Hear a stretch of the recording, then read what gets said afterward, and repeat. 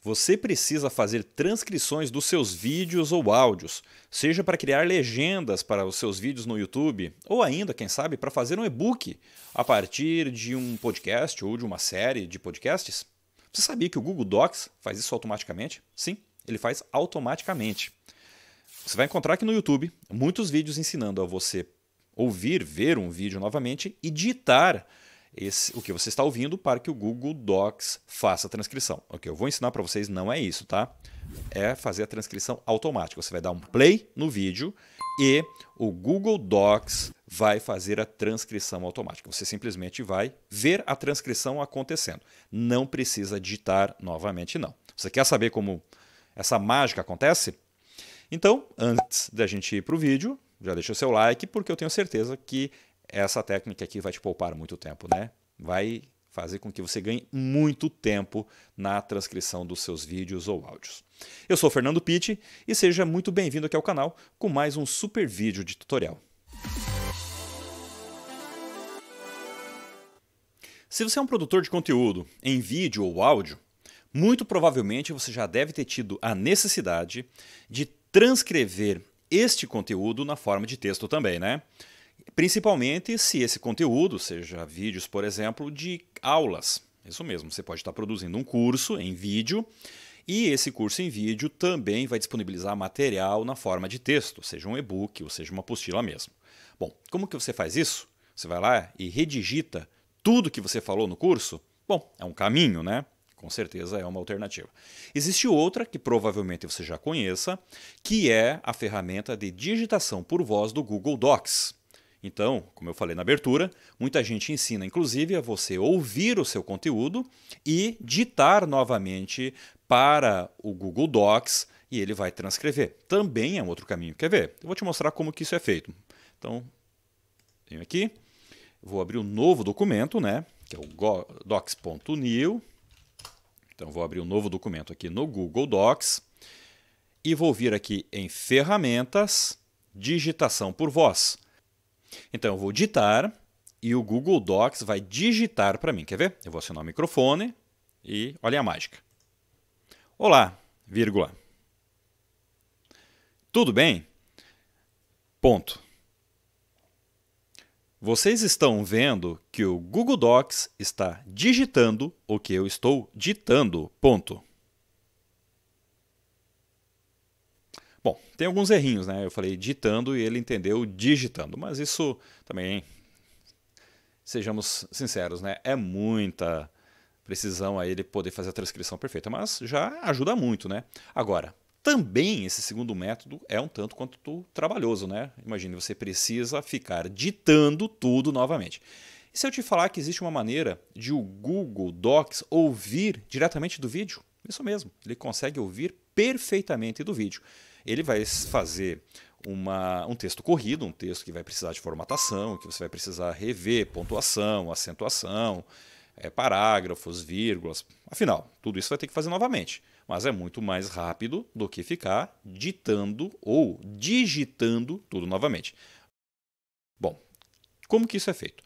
Antes de mostrar e voltar aqui para o Google Docs, deixa, nós vamos precisar baixar um, um pequeno programinha para o seu computador, que é o Virtual Cable. O que, que é o Virtual Cable? O Virtual Cable ele vai transformar, ou melhor, ele vai criar um cabo virtual digital dentro do seu computador, tanto de saída quanto de entrada.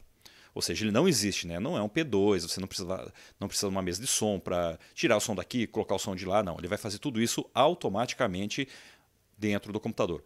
Esse programinha é muito utilizado para fazer lives, por exemplo, utilizando o OBS Studio quando você tem mais de um convidado, né? quando você está fazendo essa live utilizando sei lá, por exemplo, o Google Meet, o Zoom, né, para fazer transmissões de lives quando você tem mais de um convidado fazendo isso via teleconferência. Bom, é o mesmo programa, a mesma coisa. Então o que, que tu vai fazer? Você vai vir aqui, baixar o Virtual Cable, né? então coloquei aqui no Google Virtual Cable Download. Primeiro que apareceu aqui já é o vb-audio.com, né? Então, clicando sobre ele, vai abrir tome cuidado, porque vai ter aqui várias outras opções né, para a gente fazer o download. Eu prefiro fazer o download diretamente do site do desenvolvedor. Então, clicando sobre ele, está aqui, ó, VB Audio Software. Então, já tinha aberto ele aqui também, né? E na primeira opção a gente já vai ter aqui, ó, Virtual Cable Device, né? Então, que, como ele diz, né, é um cabo virtual mesmo, né? Um cabo de áudio virtual. Ele não existe, ele vai criar esse cabo dentro do seu computador, um cabo virtual, mas é ele que nós vamos utilizar. Então ele vai ter um input e um output, né? Então ele vai receber o som de um lado e sai de outro. Detalhe, ele é gratuito, se você baixar aqui, em, vir aqui em, em Windows, baixar para fazer o download, ele é gratuito. Agora, se você precisar de mais cabos virtuais, você pode ter até mais quatro cabos virtuais. Então pode vir aqui fazer o download, fazendo uma pequena doação a partir de 5 euros, né? Então você pode vir aqui e ter, como mostra a imagem aqui, até 5 cabos virtuais. Pode ser sua necessidade? Pode. Eu não preciso. Eu hoje eu utilizo apenas um cabo virtual, que é esse aqui, que é a versão gratuita dele, e atende perfeitamente. Mas como eu falei, você pode ter até 5 cabos de áudio virtuais no seu computador. Então o que, que a gente vai fazer? Vem aqui, download. Vai baixar. Nós vamos abrir esse arquivo zip, extrair e executar ele, né? Bom, uma vez o programa instalado, para fazer demonstração, eu vou usar um vídeo no qual eu ensinei a transformar qualquer celular numa câmera Wi-Fi. Isso mesmo, você pode usar o seu celular como uma câmera Wi-Fi. E se o seu celular for um celular 4K, essa webcam pode ser 4K. Não assistiu esse vídeo ainda? Aqui no card e também na descrição do episódio tem o link para você assistir ele. Bom, eu vou usar esse vídeo aqui. Então eu vou vir aqui também no Google Docs. Está aqui. Até para ficar mais fácil, eu vou fazer o seguinte: deixar de um lado o documento e do outro lado o vídeo. O que, que eu vou fazer? Eu vou dar um play e vou fazer a digitação. Mas antes de fazer isso, aqui entra o segredo. Vocês viram, eu baixei o Virtual Cable, então agora eu tenho um cabo de áudio virtual no computador. Eu, como disse, eu não baixei os outros, não preciso, apenas um é suficiente. Eu preciso fazer agora que o microfone do Google Docs ouça o vídeo. Então, o que, que vai ser feito agora? Aqui entra a mágica. Eu vou vir aqui em configurações de som, então, em configurações de som, vou abrir. E observe que neste momento está aqui a saída de som, está no meu fone de ouvido e a entrada aqui no terminal, né? no input. O que, que eu vou fazer? Neste momento eu vou vir aqui e vou transformar, então, cable, vai ser a saída de som, ele vai ser no cabo virtual e vai a entrada também não vai ser mais aqui. vai ser o está aqui, output, ó, cable VB Audio Virtual Cable. Então você tem a saída do som saindo pelo cabo virtual e a entrada do som no microfone entrando pelo cabo virtual. Pronto.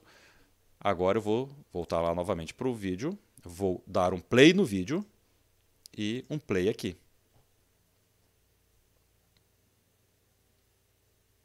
a mágica está acontecendo.